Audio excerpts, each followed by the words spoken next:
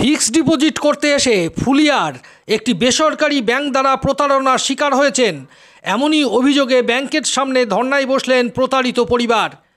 এই প্রতারিত পরিবারের বাড়ি নদিয়ার হবিবপুরে। এছাড়াও কয়েকজন ইন্স্যুরেন্সের নামে প্রতারিত হয়েছেন বলে বেশ কয়েকজন এদের সাথে যোগ দেন। বাঘ বিতণ্ডায় ব্যাংকের সামনে হৈহট্টগোল শুরু হয়ে যায়। তাদের অভিযোগ, তাদের সঙ্গে ব্যাংক কর্মচারীরা প্রতারণা করেছেন। ফিক্সড ডিপোজিটের নামে তারা একটি বেসরকারি ইন্স্যুরেন্স কোম্পানির ইন্স্যুরেন্স করিয়ে দিয়েছেন, যা পার্টির অজ্ঞাতসারেই হবিবপুরের বৃদ্ধ বাবা মার সাথে ধর্নায় বসেছেন তাদের ছেলে।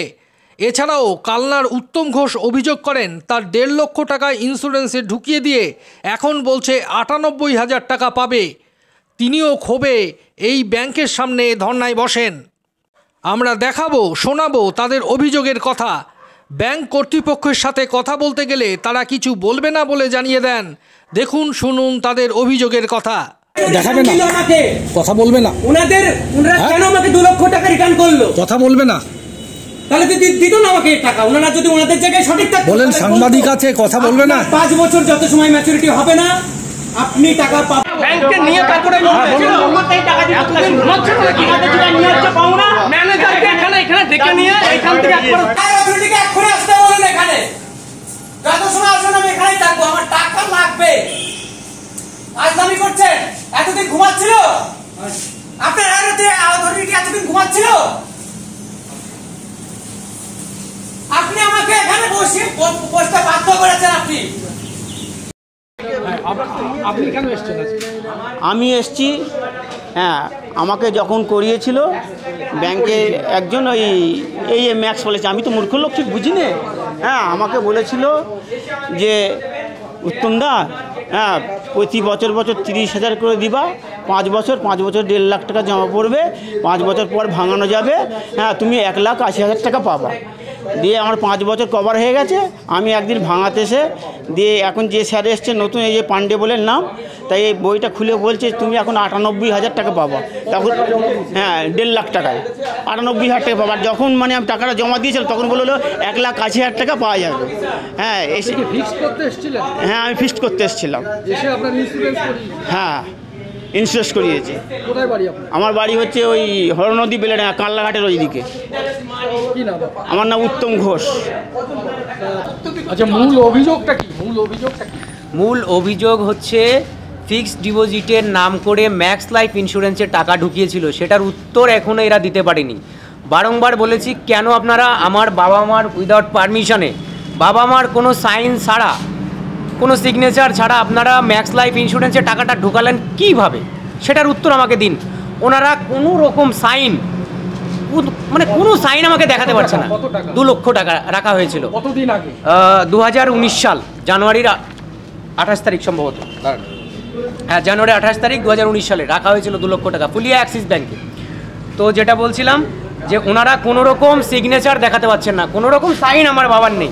এবং ওনারা যে জিনিসে ওনারা যেটাতে টাকাটা পাঠিয়েছিলেন সেই টাকাটা ওনারা ম্যাক্স লাইফ ইন্স্যুরেন্সের টাকা পাঠিয়েছিলেন। কিন্তু আমার বাবা মা কেউ জানেনি জানেনই না ম্যাক্স লাইফ সম্বন্ধে। ম্যাক্স লাইফ কী অ্যাকচুয়ালি ম্যাক্স লাইফ সম্বন্ধে ব্যাংক থেকে বোঝানোই হয়নি। ব্যাংকের থেকে প্রতিনিধি গেছিল বাড়িতে। আপনারা ফিক্সড করতে চেয়েছিলেন ফিক্সড ওটা করতে। ওটা ওরা ইন্স্যুরেন্সে টাকাটা পাঠিয়েছে আমার বাবা মাকে না জানিয়ে। কোনো সাইন নেই। এই পেপারসে এই যে বন্ড পেপারসে ওনাদের ওনাদের এই যে সেকশন ডি সেকশন এতে এরকম যে পার্সোনাল ডিটেলস অথবা আপনার মেডিকেল মেডিকেল ইনফরমেশন যেগুলো আছে ওনাদের এই যে এই জিনিসটা দেখুন একটু ভালো করে। এই জিনিসে ওনারা টাকা ঢুকিয়েছেন এবং আমি এক প্রকার বলছি জোরপূর্বক আমার বাবা মাকে মানে ওনারা এই এই পলিসির মধ্যে ঢুকিয়েছেন জোরপূর্বক। আমার বাবা মাকে না জানিয়ে ওনারা নিজেদের স্বার্থের জন্য ঢুকিয়েছেন। কারণ আপনি এটা দেখলে বুঝতে পারবেন আমাদের এই ফুলি অ্যাক্সিস ব্যাংকের আগের যে ম্যানেজার ছিলেন এবং ওই সময় যারা কর্মচারীরা ছিলেন তারা এর সঙ্গে জড়িত আছেন এবং ইনি বর্তমান যিনি আছেন ইনি আমাকে কোনো রকম সহায়তা করছেন না ঠিক আছে? এই দেখুন ভারতীয় ভারতীয় আমাদের যে আইডি প্রুফগুলো রয়েছে ভারতীয় voter card PAN card Aadhaar card প্রত্যেকটা জায়গায় আপনার লেখা আছে দেখুন আমার মা আমার বাবার ডেট অফ বার্থ এক এক উনিশশো পঞ্চান্ন সাল ঠিক আছে? আর আমার মার ডেট অফ বার্থ এক এক উনিশশো উনষাট সাল এই জিনিসটা প্রত্যেকটা আপনার আধার কার্ডেও পাবেন, প্যান কার্ডেও পাবেন, ভোটার কার্ডেও পাবেন। কিন্তু এরা যেটা এই ফিল করেছে, এটাতে আমার বাবার, এ দেখুন পরিষ্কার এখানে লেখা লেখা রয়েছে, আমার বাবার ডেট অফ বার্থ ভুল, আমার মার ডেট অফ বার্থ ভুল। আমার বাবা পড়াশুনো করেছেন ফোর পাস পর্যন্ত, মা করে, মা পড়াশুনোই করেননি। সেখানে আমার বাবাকে এরা দিয়েছে হাই স্কুল মাকেও দিয়েছে হাই স্কুল আমার বাবার বিজনেস ইন্ডাস্ট্রি টাইপ দেখিয়েছে বিজনেস দেখিয়েছে, মাকেও দেখিয়েছে সেম তারপরে অকুপেশন দিয়েছে সেলফ এমপ্লয়েড আমার বাবা এ ফার্মার মা কিছুই করেন না। মাকেও সেলফ এমপ্লয়েড দেখিয়েছে। নেম অফ কোম্পানি দিয়েছে ঘোষ, তাও নাম ভুল। আবার এখানে আপনার কি করেছে? বাবার অ্যানুয়াল ইনকাম দেখিয়েছে সাত লক্ষ টাকা। এই ভদ্রলোকে সাত লক্ষ টাকা অ্যানুয়াল ইনকাম দেখিয়েই রায় পলিসির মধ্যে ঢুকিয়েছে। এবং আমার মাকে পাঁচ লক্ষ টাকা অ্যানুয়াল ইনকাম দেখিয়েছে। যেটা সম্ভবই না। কোনো রকমভাবেই সম্ভব না। এবং এনারা আমার বাবা মাকে বিজনেস দেখিয়ে এই পলিসির মধ্যে ঢুকেছে। আমি যখন ব্যাংক কর্তৃপক্ষকে এটা বলি যে আমার বাবা মা তো কোনো এমপ্লয় নয়, ওনারা তো কোনো সরকারি চাকরি করেন না, কোনো বেসরকারি জায়গায় কোনো চাকরি করেন না। এই যে আপনারা যে পলিসিতে ঢোকাচ্ছেন এবং যে টার্মস অ্যান্ড কন্ডিশন আপনাদের প্রত্যেক বছরে দু লক্ষ টাকা করে দিতে হবে, এটা কি করে সম্ভব হবে? আমার মা বাবা কি করে দিতে পারবে? এইটা এইটা কি কখনো ভেবেছেন? এবং সবথেকে বড় পয়েন্ট আমার বাবার হচ্ছে এই যে যখন ওরা পলিসিটা করিয়ে আসে এই ফিক্সড ডিপোজিটের নাম করে এই এটা তো পেপারস কোনো দেখায়নি বাড়িতে গিয়ে। তার আগে আমার বাবার অলরেডি দুটো অপারেশন হয়েছে এবং মাও তখন থেকেই অসুস্থ বিছানাসজ্জা ছিল। তার কিছুদিনের মধ্যেই এক ওই দু হাজার বাইশে আমার মায়ের অপারেশন করিয়েছি। আমার মায়ের ব্যাঙ্গাল মণিপাল হসপিটাল থেকে অপারেশন করেছি। আমাদের বাড়ি হবিবপুরে। এই ম্যানেজারকে আমরা এত রিকোয়েস্ট করেছি যে স্যার আমাদের এই টাকাটা আপনি আপনি যেভাবেই হোক আমাদের রিটার্ন করার ব্যবস্থা করুন। তখন এনাকে যেভাবে আমরা উনি আমাকে লেটার দিতে বলেন একটা ফার্স্ট লেটার আমি সেই লেটারটাও আপনাকে দেখাতে পারি। একুশ চার দু হাজার তেইশ আমি ফার্স্ট লেটার ওনাদেরকে কতদিন ধরে ঘুরছেন এই জন্য? আমি জানুয়ারি থেকে আপনার একুশ চার। একুশ চার তো হ্যাঁ তার এক মাস আগের থেকে আমি ঘুরছি। ধরে রাখুন প্রায় চার পাঁচ মাস হয়ে গেছে এই আমি ঘুরছি ব্যাংকে। এবং এর জন্য আমাকে অনেক ব্রাঞ্চে যেতে হয়েছে। এনারা আমাকে প্রথমে একদম কোনো রকম সহায়তা করেননি।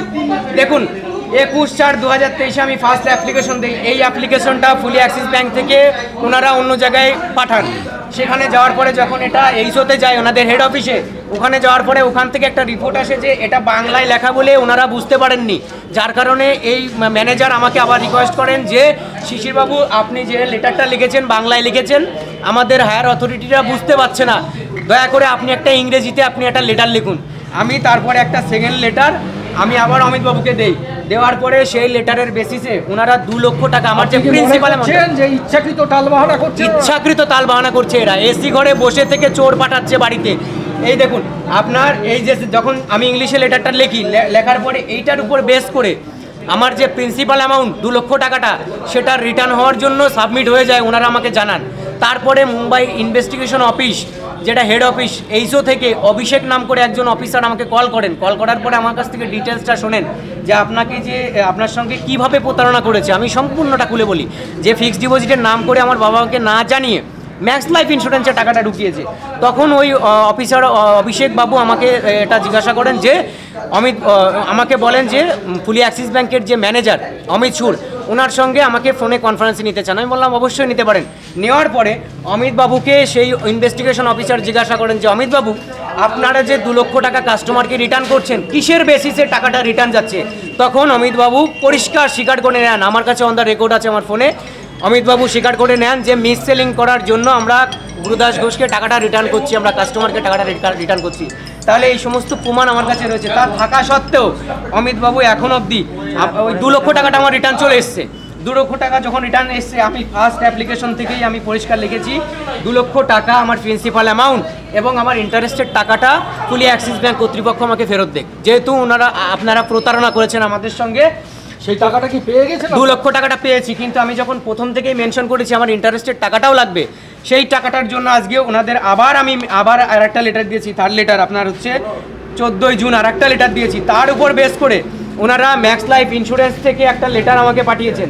আমি ওনাকে বারংবার ওনাদেরকে বারংবার বলেছি আপনার আপনার এখানে টাকা টাকা রাখা হয়েছে। দু লক্ষ প্রিন্সিপাল অ্যামাউন্ট আপনার ফেরত ফেরত দিয়ে দিয়েছে। এবার চাইছি আমার ইন্টারেস্টের যে টাকাটা সেই টাকাটার জন্য ইনি রীতিমতো আমাকে ঘুরিয়ে যাচ্ছেন।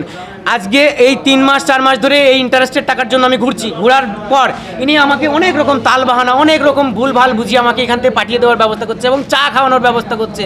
হ্যাঁ আমাকে মানে ভীষণ একটি আদর যত্ন করছেন। তা ইনার ব্রাঞ্চের মধ্যে আরও যে সমস্ত কর্মচারীরা রয়েছে অসভ্য একদম।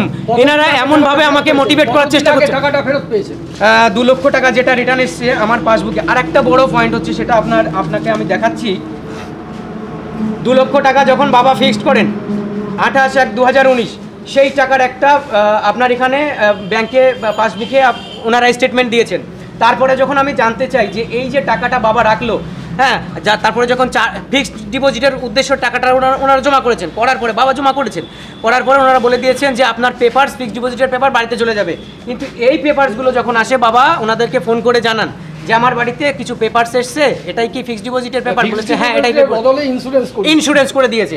তারপরে ওনারা বলেছে এটাই ফিক্সড ডিপোজিটের পেপার এটা আপনি যত্ন সহকারে আলমারিতে রেখে দিন। সেই তদ্রুপ বাবা ওটা আলমারিতে রেখে দেন। চার বছর, তিন মাস পরে যখন বাবার টাকার প্রয়োজন হয় ব্রাঞ্চে আসার পরে জানতে পারে যে বাবাকে দিয়ে পলিসি করানো হয়েছে, ওনারা করেছে, ঠিক আছে? কিন্তু আমি যখন বারংবার জানতে চেয়েছি যে বাবার কোনো সাইন নেই, কি করে এটা সম্ভব হলো? তারপরে আমি এটা জানতে চাই যে আঠাশ এক দু হাজার উনিশে যখন এই দু লক্ষ টাকাটা বাবা ফিক্সড করেছিল ওই টাকাটা কোথায় গেল? উধাও হয়ে চলে গেল নাকি? তখন ওনারা জানান যে আপনার বাবা ওই যখন চার বছর পরে এসে জানতে পারি আমরা যখন ফিক্সড ডিপোজিটটা ভাঙার উদ্দেশ্যে আসি তখন ওনারা বলেন যে আপনার টাকাটা ম্যাক্স লাইফে গেছে। আপনার নাম কি? আমার নাম শিশির ঘোষ ইনি আমার বাবা গুরুদাস ঘোষ আমার মা অঞ্জলি ঘোষ।